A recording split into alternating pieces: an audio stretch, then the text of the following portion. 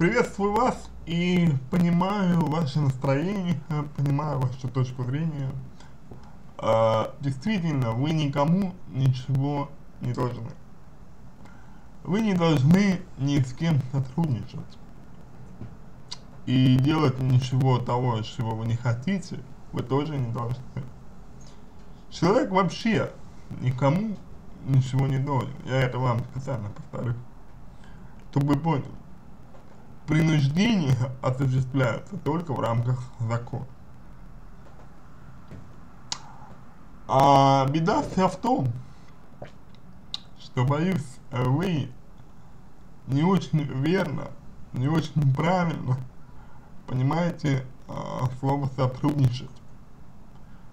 Потому что оно значит не то, что вы делаете что-то для других, а то, что вы используете других для своих целей.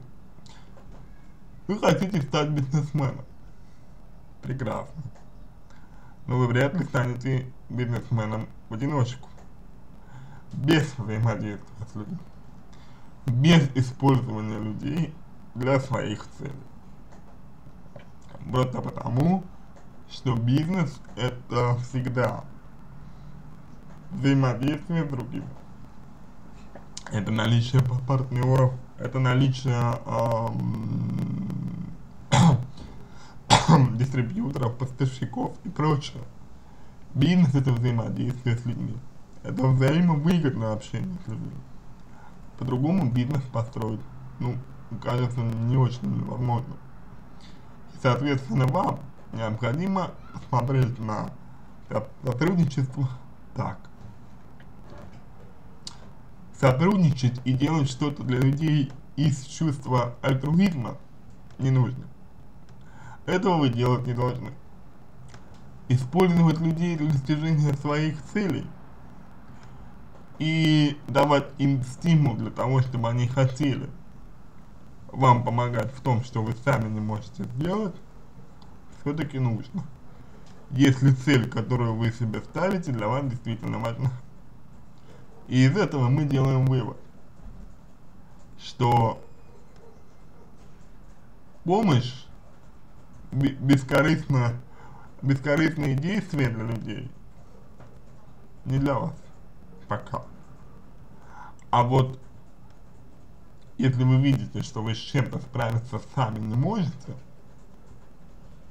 привлечь других людей на помощь ради достижения своего, можно и нужно.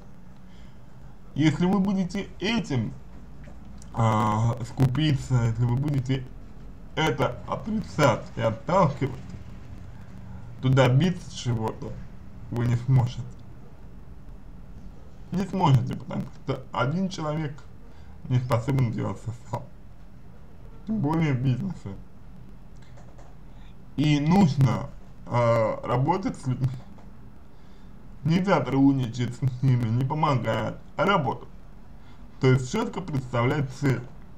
И вот на том этапе, когда человек может вашей цели соответствовать и приближать вас к, вас к ней, вы и этого человека придерживаетесь, а когда вы видите, что он свою миссию выполнил, и он больше вам не нужен, вы от него избавляетесь. Естественно, в мягкой форме, естественно, по возможности вежливо и прочее, но избавляет. Он вам больше не нужен.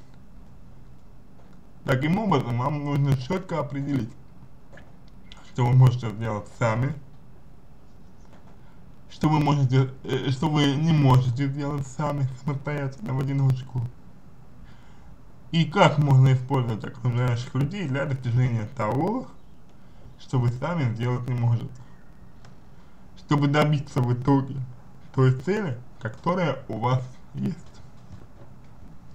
Вот именно так нужно понимать сотрудничество. Именно так нужно относиться к окружающим людям. И, и не тратить свои силы и ресурсы на альтруизм, если вы этого не хотите. Поэтому все. Надеюсь, что помог вам если какие-то вопросы остались, обращайтесь в личку. Помогу Если вам понравился мой ответ, сделайте его лучшим, буду благодарен.